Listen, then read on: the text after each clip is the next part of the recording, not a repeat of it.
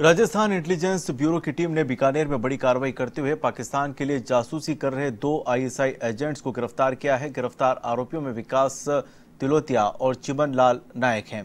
आरोपी विकास गंगानगर में civil defence कर्मी के पद पर कार्यरत था।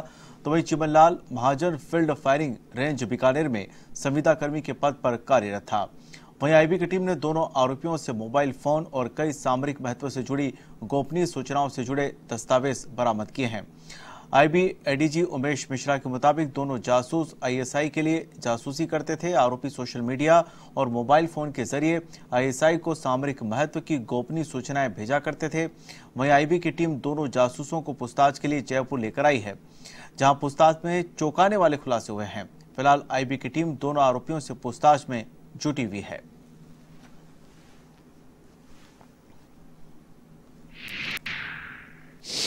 पाक स्पाई से जो कांटेक्ट में था उसको पकड़ा गया है। जो पाक हैंडलर है पाकिस्तानी जासूस तो वो तो अपनी जगह पे है। उसके टच में ये एक सिविलियन एम्प्लाई अमनिशन डिपो का आया विकास कुमार। और उसके बाद फिर एक चिमन लाल है वो कॉन्ट्रैक्टर है। वो भी इसमें शामिल हो गया।